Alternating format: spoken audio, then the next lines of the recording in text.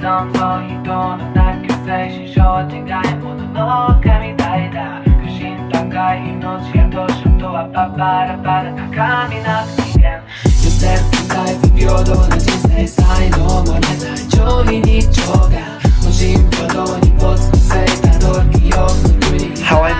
Gojo's eye realistic in Photoshop. Sketch out the idea very quickly, doesn't have to look good. Using this image as a base, I flip it horizontally and put it into position. Very nice. Now to make it epic.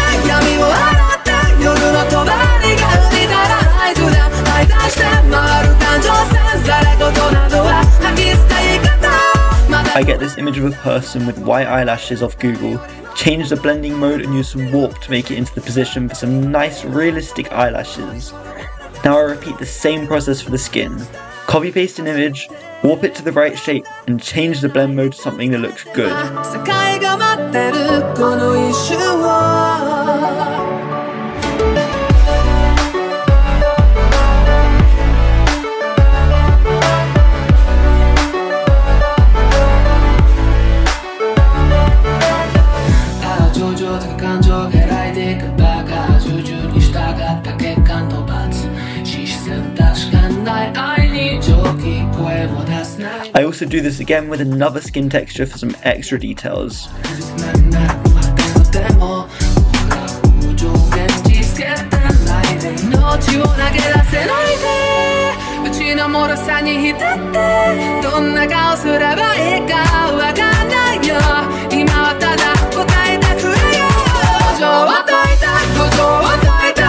確かな声を紡ぐアイディア搭載して回る感情線その先に Eye looks kind of flat so I want to add some veins. Rinse and repeat the same process once again. Slap in an image, add a little bit of warp to it, shape it, mess around with the blend modes until I find something that I like, then just remove all the other parts that I don't want. So I'm just left with the white of the eye, with all those realistic veins. So much better.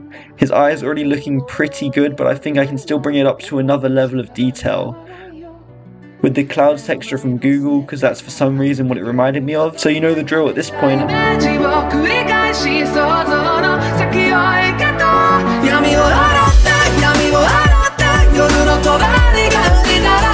I'm messing around with the blending modes for a little bit of this one and I erased the middle part because it was washing it out too much and removing some of that contrast with the iris.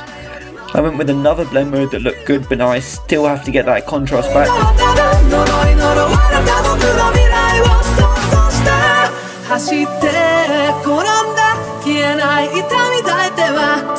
So I'm gonna just use another image to do it, which is probably the better way anyway.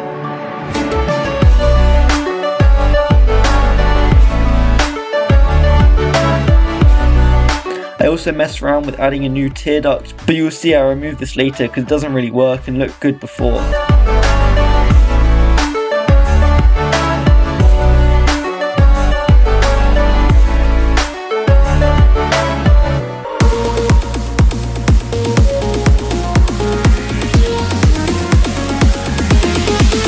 Gotta get it, homie, gotta move it. Uh, if you gotta do it, man, When I flip the canvas it allows me to see it from a fresh perspective so I can find some more things to improve which I do. I see it's a bit flat under his eye because I washed out most of the detail with the skin texture. So using a multiply layer with the airbrush I add some shadows back under the eye and above it as well.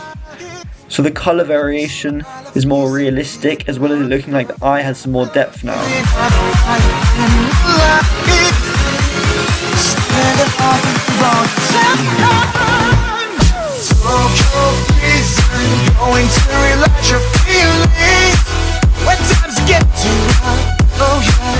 Now that is pretty sweet, so on to the final steps. I'm just doing some adjustments with the camera raw filter. I have no clue the math behind how any of the sliders work, so I basically just move them around randomly until it looks good.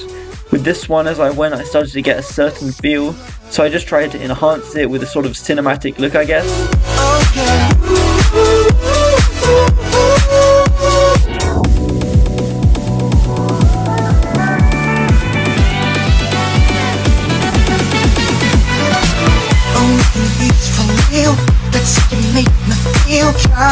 something in love. I'm time. God might understand. Nobody can hold down. Giving up right in my life. Cause my life is a living for love. I tried putting it into an AI image upscaler, but it just washed it out a bit, which I didn't like. So instead I just used the original one, then added a bit of chromatic aberration by distorting each color channels individually a little bit. I don't know why it works, but I think it makes it look a bit better as an effect at the end. Also, you can hopefully see that during this entire process I'm trying to zoom out as much as possible, so I don't get caught up in all the small details, and I'm still looking at the overall feel. Finally, I add the text You're weak or Yowaimo, as Gojo says in Jujutsu Kaisen, which is a nice finishing touch, which I make very easily with just blending options using the drop shadow softly behind it and a stroke to make it a bit thicker. And that's it. I hope this was helpful into my process of making it. it took around an hour in total and I'm fairly happy with the way it turned out.